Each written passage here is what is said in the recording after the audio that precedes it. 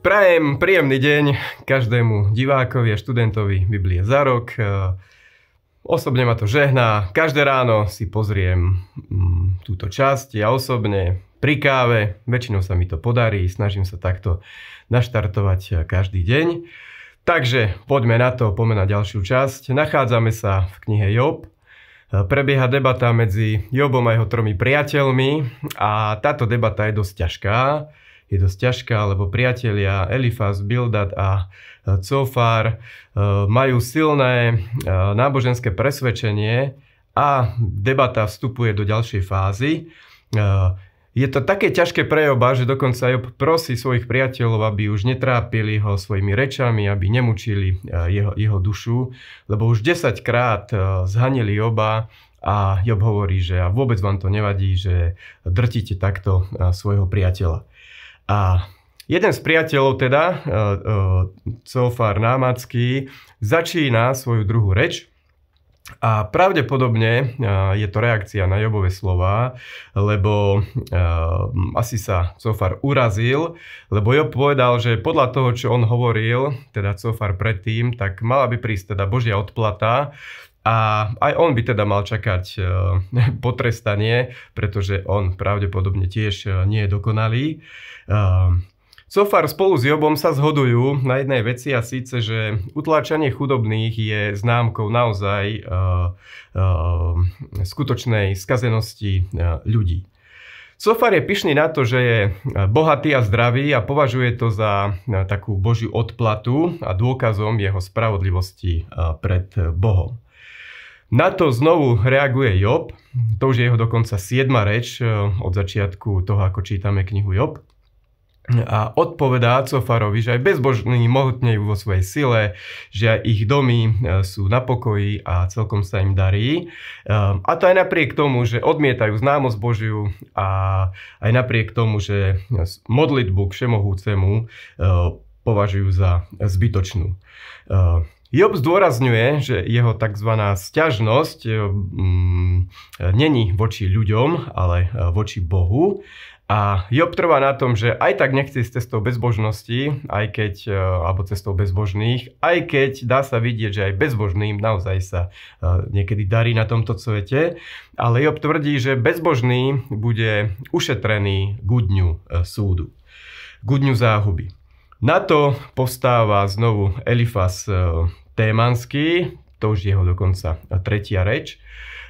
Elifaz doteraz bol celkom mierny, taký najmiernejší voči Jobovi, dokonca ešte na začiatku celej debaty pozbudzoval a potešoval Joba, ale teraz ho začína dosilno karhať a hovorí Jobovi, že vraj neskončil s neprávosťami a vyčíta mu tam, že brával záloh, vzliekal rúcho od nahých, že vodu nenalieval tomu, kto bol smedný, nedával najesť e, lačnému, že sa nestaral o siroty a vdovy a že práve preto prišla takáto, takáto tma, zdesenie a strach e, na jeho život.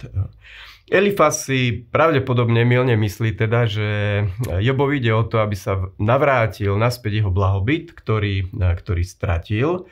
A Elifas sa snaží robiť taký, z jeho strany taký posledný pokus, aby Job urobil pokánie, e, chce do toho Joba dokonca až dotlačiť hm, a vyzýva ho, aby mal s Bohom pokoj, e, aby Boh bol jeho pravým pokladom a jeho radosťou a že vtedy vraj ho vypočuje všemohúci. Na to znovu reaguje Job, už svojou 8 rečou a Job sa veľmi silno domáha spravodlivého procesu. Uh, hovorí, že ak by mohol prísť pred Boha, tak by mu on ukázal svoje, svoje dôkazy, uh, chcel by počuť uh, Boží názor, Božie slova na, na jeho situáciu. A Job ide dokonca tak ďaleko, že hovorí, že um, on si myslí, že Boh by sa s ním nepravotil.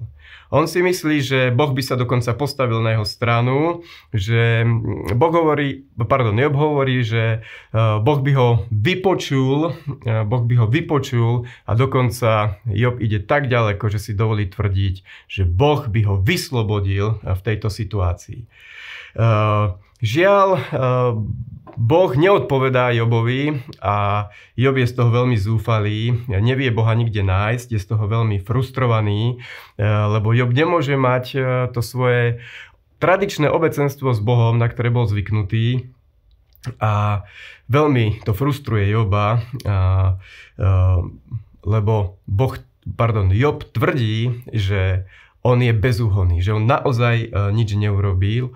Tvrdí to, trvá na tom, že on ostrihal cestu hospodinovú, ostrihal e, Božie prikázania, dokonca hovorí, že Božie slovo je pre neho viacej ako denný pokrm. E, sú to veľmi silné slova. Job pripúšťa, že toto celé je preto, lebo Boh ho skúša. A Job zase tvrdí, že on ale z tejto skúšky vyjde ako čisté, čisté zlato. Mm.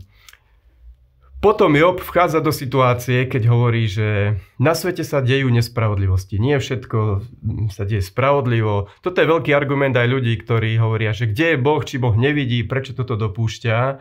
Ale Job bol človek, ktorý trvá na tom a tvrdí to, že aj keď sa dejú nespravodlivosti, to neznamená, že by Boh bol nespravodlivý, že by bola chyba e, u Boha. A naozaj Job tvrdí znovu a znovu, že Boh je spravodlivý a neprivlastnil Bohu nič zlé. E, a ako hovoria už aj kapitoly predtým, tak je napísané, že vo všetkom tom Job nezhrešil svojimi ústami, neprisúdil Bohu nič zlé, on sa, on sa e, nehnevá na Boha v tom zmysle, že by e, prisúdil Bohu, že by to za to mohol Boh, ale Job je spravodlivý a myslím si, že aj dnes je taká istá doba, že prichádzajú rôzne skúšky, rôzne rôzne, rôzne pokušenia, rôzne situácie, ktoré človek môže vyhodnotiť, že sú nespravodlivé, ale je veľmi dôležité, aby aj postoj jedného kresťana zostal v tom, že Boh je spravodlivý, že má všetko pod kontrolou a preto aj neskôr uh, Boh sa postaví za Joba, pretože Job naozaj bol a aj ostal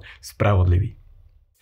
Ďakujeme, že nás sledujete a aj vďaka vám vieme pokračovať v tomto jedinečnom projekte. Sledujte nás aj na sociálnych.